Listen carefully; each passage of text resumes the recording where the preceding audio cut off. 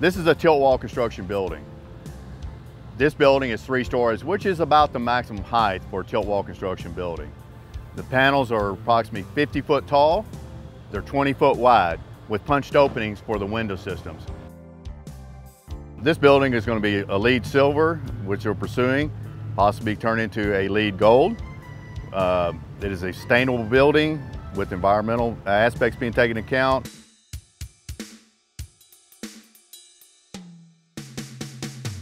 As you look back in through here, you'll see the bracing.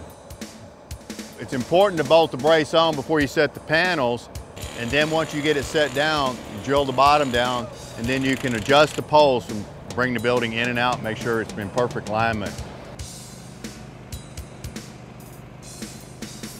One of the reasons they do a lot of the tilt wall construction on, on buildings and office buildings is because of the efficiency.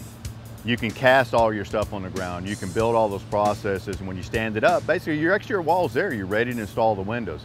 So it does save some time in the construction of the industry. But a big factor is the cost savings to the owner.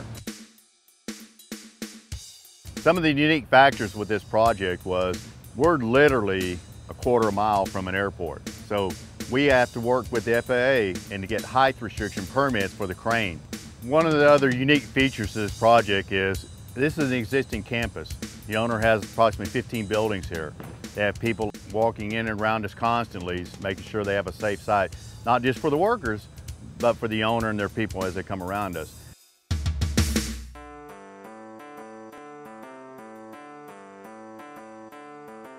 The duct goes under the steel here and then it pops up over the cable tray and electrical conduits and also the fire protection and then it has to connect to the diffusers and everything in the rooms that it's actually feeding to. We only had about 18 inches to fit in all the mechanical and electrical and fire sprinkler systems on this project. And so we were able, really able to utilize BIM to accomplish this and, and make sure everything fit where we needed it to fit. This project is currently on schedule to be turned over to the owner and they'll be taking occupancy early 2012.